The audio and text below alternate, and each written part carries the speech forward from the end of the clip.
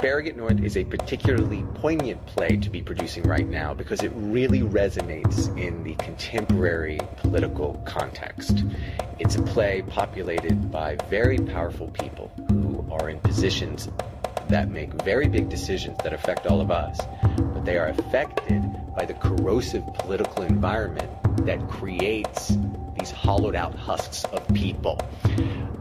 The other good thing about the play that I think is a good reason to go see it, even if you don't follow politics, is that it's an incredibly good story. It's fast paced, it's suspenseful, and it really keeps you on the edge of your seat with a lot of twists and turns. In a lot of ways, it's a good old fashioned political potboiler, but it happens to be produced at a moment in our contemporary political times that I think really resonates on a large scale.